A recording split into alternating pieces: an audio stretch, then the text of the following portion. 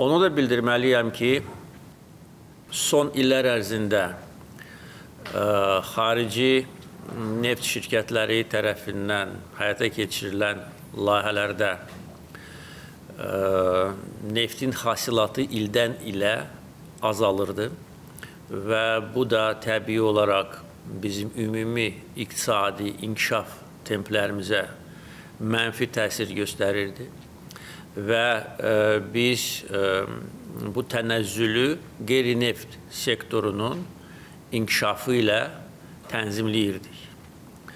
Ancaq ə, e, xarici ə, e, neft şirkətləri ilə aparılan danışıqlar nəticəsində ə, neft hasilatında buraxılmış nöqsanlar onların diqqətinə çatdırılmış və onlardan tələb edilmişdir ki, bu nöqsanlar aradan qaldırılsın və e, neft hasilatının sabitliyi təmin edilsin.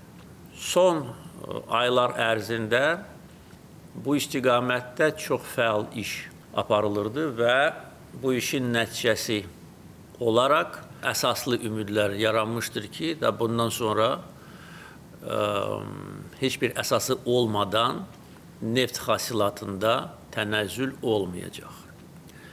Təbii olaraq ə, hökumət qurumları e, və dövlət e, neft şirkəti e, bu işlərin gələcək gedişatına da daim diqqət yetirəcək.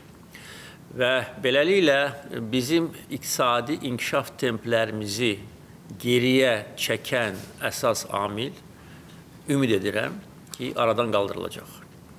Və gələn il sabit neft hasilatı təmin edilməlidir. Nəzərə alsaq ki, hal-hazırda bir neçə yeni layihə üzərində, yəni neft-qaz sektorunda biz işləyirik və o layihələrin işlənməsi nəticəsində yeni hasilat proqnozlarımız var və yəqin ki, gələn il biz hamımız onu görəcəyik ki, yeni layihələrdən, yeni yataqlardan daha böyük həcmdə e, təbii qaz və neft e, kondensatı hasil edilir.